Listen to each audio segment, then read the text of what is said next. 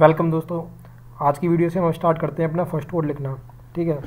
तो इस वीडियो में हम क्या क्या कवर करने वाले हैं वो मैं बता देता हूँ आपको कि अपना फ़र्स्ट कोड लिखेंगे हेलो वर्ड या जो भी है। उसके बाद हम देखेंगे जीएसएक्स के बारे में। जीएसएक्स क्या होता है, उसके बाद हम पढ़ेंगे इसमें बेबल के बारे में, ठीक है? तो सबसे पहले हम अपने कोड पर चलते हैं कि हमारा कोड कैसे काम करता है। तो सबसे पहले जो हमारा कोड जाता है यहाँ पर इंडेक्स डॉट एस पर जाता है। अगर आप यहाँ पर कुछ भी टेक्स्ट चेंज करोगे मतलब अभी मैं टाइटल चेंज कर रहा हूँ, ठीक है? ऐसे डाल दिया मैंने सेव करा, ये मेरा टाइटल चेंज होकर आ गया। रिमूव कर दिया मैंने सेव करा मैंने टाइटल चेंज हो गया। अब इसके अंदर जो ये कमेंट हैं, इनकी, ये देखो, ये सब कमेंट हैं, कुछ भी नहीं है। अगर मैं इसको क्लीन कर दूँ ना थोड़ा सा, ये मैंने हटा दिया, ये हटा दिया। तो कोड हमारा केवल इतना ही है इसमें। ठीक है, इसके बाद ये जाता है इंडेक्स डॉट एच पर sorry index dot J S पर ऐप के अंदर ये रहा। तो यहाँ पर जो कमेंट है, ये भी मैं हटा देता हूँ। इसके अंदर रिपोर्ट वेब वाइटल्स ये मैंने लास्ट वीडियो में कवर कर दिया कि ये क्या होता है। तो वो देख लेना। उसके बाद ये हमारा जो कोड ये काम कर रहा है, ये कैसे आ रहा है, ये हेलो लिखा हुआ। तो अभी तो ये कंपोनेंट से आ रहा है। तो कंपोनेंट में अभी बताने नहीं जा रहा आपको। कंपोनेंट बाद में बताऊँगा। तो जो भी काम आ रहा है, वो इससे आ रहा है। अगर मैं इसको रिमूव कर देता हूँ, और इसको रिफ्रेश करता हूँ मैं यहाँ पे। तो कुछ भी नहीं आया ब्लैंक पेज आया मेरा, ठीक है? अब ये मेरा कोड आया कैसे? सपोज़ करो मैं इसको खुद बनाता हूँ, इसको मैं कमेंट कर देता हूँ मैं। और ये मैं अपने आप लिखने की कोशिश करता हूँ। रिएक्ट डोम उसके बाद आपको लिखना रेंडर उसके बाद आप, पहला पैरामीटर होता है इसमें, अभी छोड़ देता हूँ। उसके बाद, चलो पहला पैरामीटर बता ही देता हूँ। कि इसमें आप लिखोगे अपने एस के टैग जो भी हैं। मतलब एस टैग नहीं बोलोगे आप जे बोलोगे कि जी लिखोगे आप। जैसे मेरे को लिखना है हेडिंग एच वन उसके अंदर लिखना है हेलो कोड इम्प्रूव ठीक है? अभी केवल मैंने इतना लिखा है इसमें। जैसे हम एस लिखते हैं ना अपने H one hello code improve और उसके बाद अगर कुछ भी लिखना है तो वो लिख दो। उसके बाद जो सेकंड पैरामीटर है। कि जो ये हमने कोड लिखा है अब इसको दिखाना भी है, इसको दिखाएँगे कहाँ पर? तो इसको दिखाएँगे हम यहाँ पर, जो हमारा एच का कोड लिखा हुआ है इंडेक्स डॉट एच यहाँ पर एक डिव है, उसकी आईडी है रूट तो उस पर दिखाना है। तो उसके लिए इन्होंने यूज़ करा हुआ है document dot get element by ID और यहाँ पर जो आईडी है वो है रूट बस इतना करना मैं।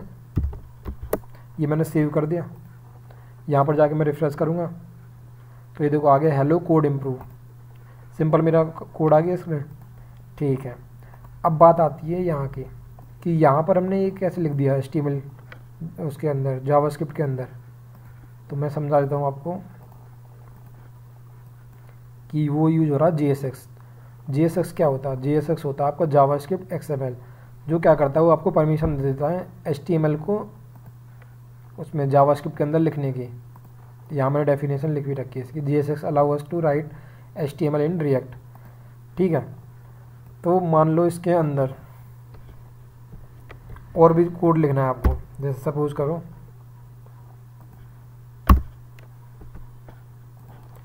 कि इसके अंदर एक और टैग लिखना है। एच टू और यहाँ पर लिख दिया मैंने। नेक्स्ट हेडिंग ये बंद कर दिया एच टू अभी देखो एरर दे रहा है। क्यों दे रहा है आपको? क्योंकि ये नेक्स्ट लाइन में नहीं जाने दे रहा है। तो उसके लिए आपको क्या करना पड़ेगा? या तो इसको एरे बना दो। ऐसे एरे बना के।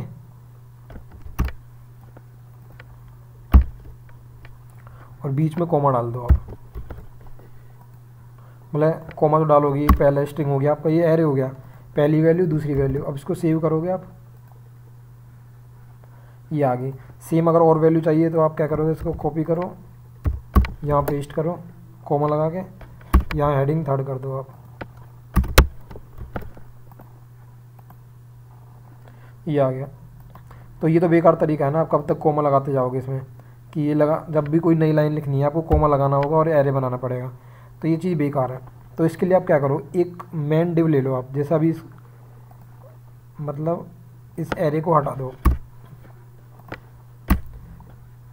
इस सबको एक ही डिब में बाँध दो। स्टार्ट और बंद कर दो। अभी सारा काम एक में ही आ जाएगा आपका। ये देखो कॉमा भी हटा देता हूँ मैं यहाँ पे।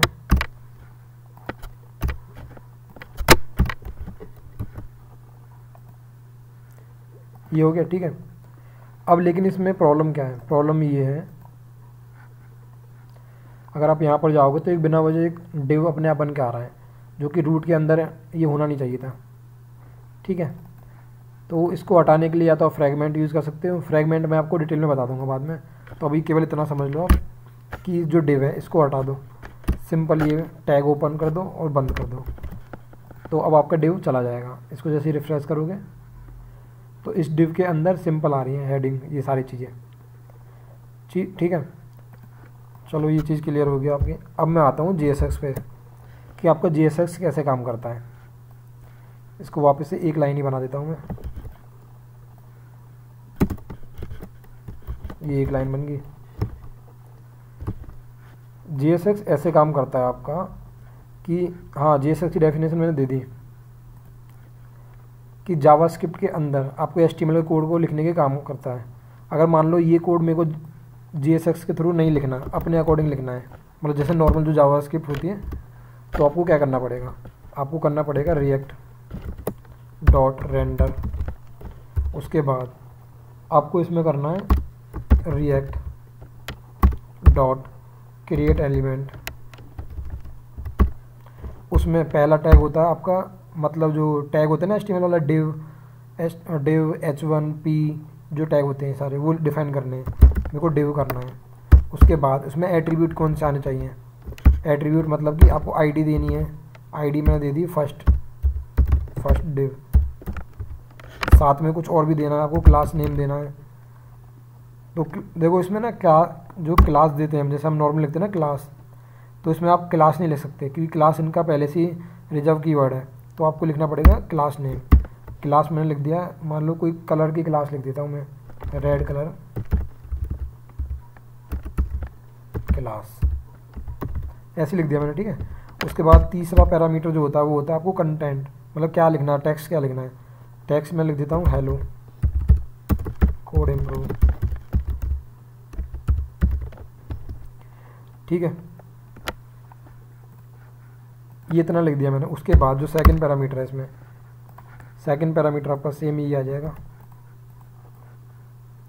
कि ये वैल्यू आपको कहाँ पर डालनी है? ये डालनी है आपको जो डिव रूट आईडी उस पर डालनी है आ, ये आपका कुछ एरर आ गया। क्लास नेम अच्छा। इक्वल नहीं, यहाँ पर कॉलन आएगा।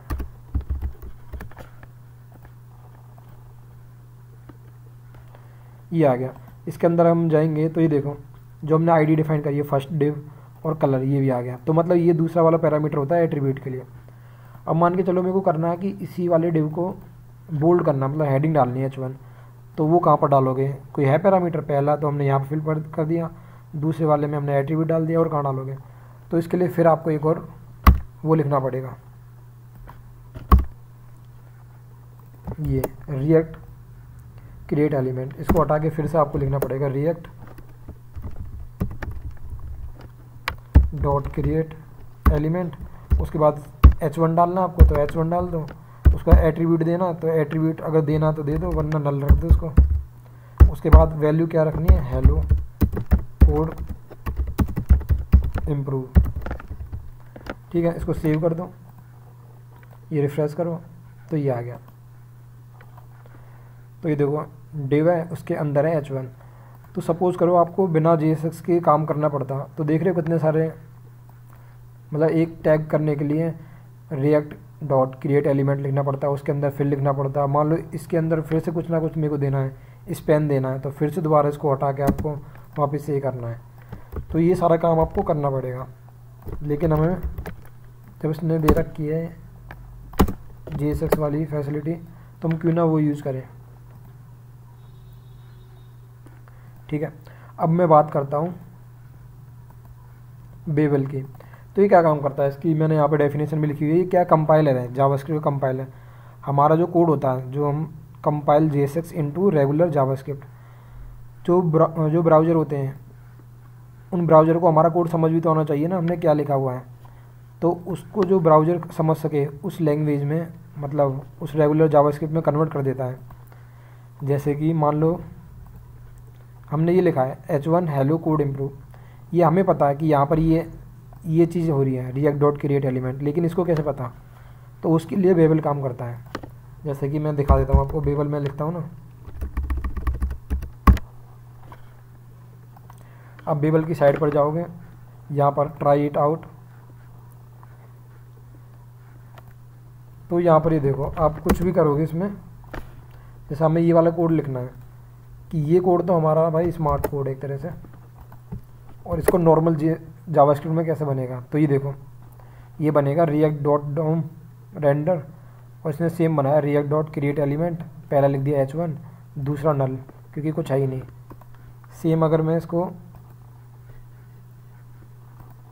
यहाँ पर अगर क्लास नेम वगैरह कुछ भी मैं दे देता। क्लास नेम रेड और यहाँ पर जाके मैं इसको चेंज करता। तो देखो, जो हमारा जो कोड है जे वाला कोड है, उसको बेबल ने कन्वर्ट कर दिया अपने सिंपल जावास्क्रिप्ट में, जो कि जावास्क्रिप्ट में ऐसा हो जाएगा, इसका react DOM dot render react dot create element H one उसके बाद आपका क्लास नेम और फिर है सिंपल हमारा कंटेंट हेलो कोड इम्प्रूव ठीक है? तो ये काम करता है आपका बेबल और बाकी इसको ना डीपली मैं आगे की वीडियो में बताऊँगा। मतलब जब रिएक्ट कंप्लीट हो जाएगी ना, उसके बाद मैं बेबल को डीपली समझाऊँगा आपको कि कैसे कैसे, क्योंकि इसके अंदर और भी सारी चीज़ें आएँगी। तो आज की वीडियो में इतना ही है। बाकी फिर मिलते हैं नेक्स्ट वीडियो में। अगर आपको ये पूरी वीडियो समझ आ गई तो प्लीज़ लाइक कर देना और चैनल सब्सक्राइब करो हमारा और वीडियो देखने के लिए। Thank you.